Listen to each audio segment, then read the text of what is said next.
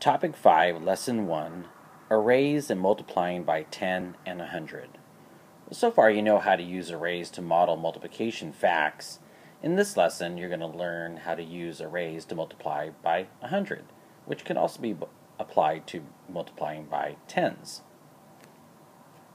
Our standard is multiply a whole number up to four digits by one digit whole number and multiply two digit numbers using strategies based on place value and the properties of operations.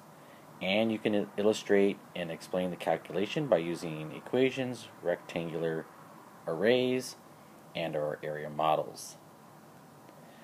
We're going to be using mathematical practices to 1. Construct viable arguments and critique the reasoning of others. Model with mathematics, use appropriate tools strategically, and look for and make use of structure.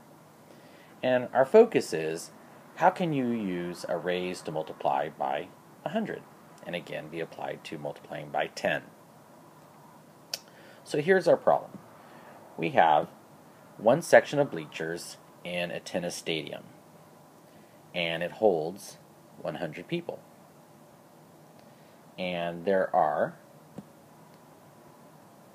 six sections like this in the stadium, how many seats are there all together? So we have one section by itself that holds 100 people.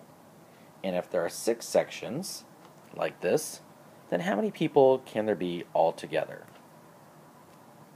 So we have six sections with 100 seats each, and we can kind of draw it out like this. Notice I have one, two, three, four, five, and six boxes and we can easily just go ahead and add 100 to each section. And we get this written in here nice and easy. And we can actually figure it out from there. We actually have 100 plus 100 plus 100 plus 100 plus 100 and plus 100. So we have six of them.